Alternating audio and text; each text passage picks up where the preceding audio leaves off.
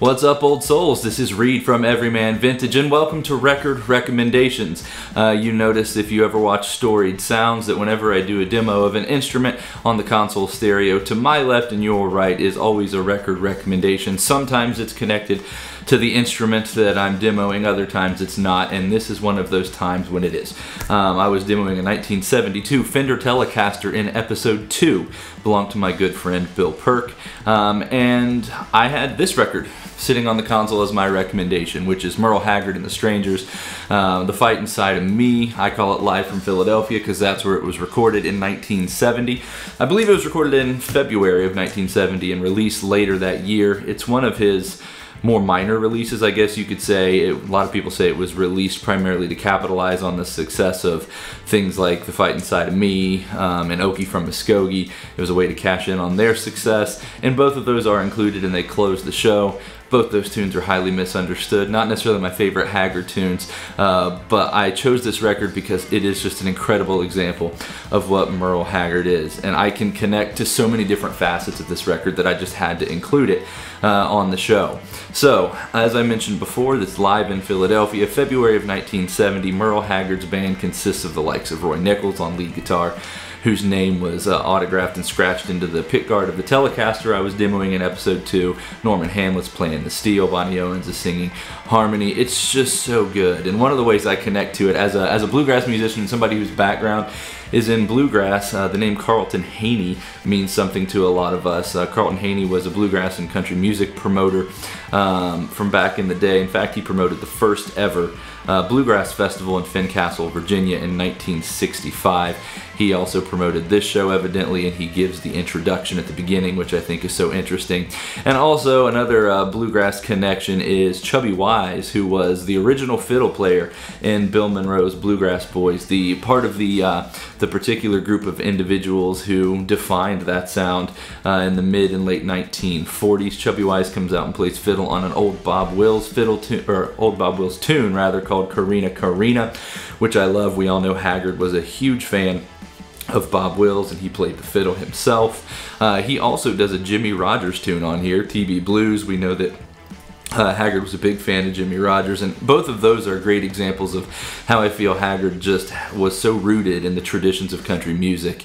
And um, when he wrote a song, you knew it was coming uh, from a place of authenticity. You knew that it was real, and that he knew um, that he was continuing the legacy that was started by some pretty, um, pretty big names and some um, titan figures uh, in country music. Some other songs that are on this uh, album, I mentioned the two patriotic songs, "Fighting Side of Me" and "Okie from Muskogee." Um, he also does my favorite Merle Haggard tune of all time, "Every Fool Has a Rainbow." It's just an autobiographical tune, and to me, is everything country music is about. Roy Nichols absolutely crushes the Telecaster on this one.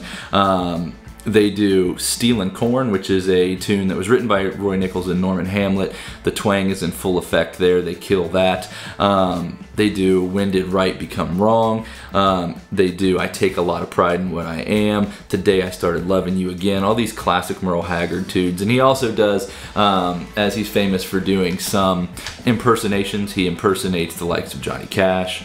Buck Owens. Uh, he impersonates Hank Snow, and my personal favorite is he just does an absolutely spot on uh, take of Marty Robbins, and he is singing Devil Woman on this recording, um, and he is famous for doing that impersonation. Uh, so to me, this is such an amazing record, uh, an example of what Merle Haggard can really do. By far my favorite country music artist of all time. Um, talk about a triple threat Haggard could play.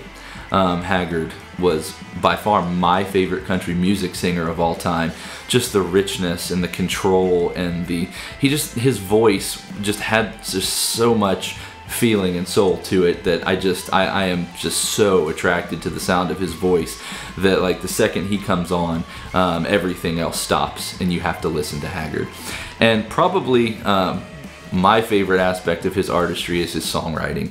Merle Haggard had a way of explaining the working man's heart that no one else uh, in the history of country music, in my opinion, has ever been able to do. His writing just exposes a deep well of feeling, experience, and soul that I just don't think any other country music songwriter has ever been able to do. Not to mention the longevity of his career from his first single being released, I believe, in 1963, all the way up through the 80s. He was still topping charts and just writing relevant and amazing songs. And so I chose The Fighting Side of Me for a number of reasons. One is the connection to uh, the guitar that I was demoing in episode two, but also because I thought it'd be a good way for people who aren't super interested in Haggard's catalog to get a kind of wide swath of what he was doing at what I would consider to be the prime of his career in 1970. So if you'd like this video, I'd encourage you to uh, like and subscribe. Hit the bell button to make sure you're being notified when I release more demos, more Storied Sound episodes, and more record recommendation videos. Um, so I appreciate you tuning in, and we'll see you next time. Thanks.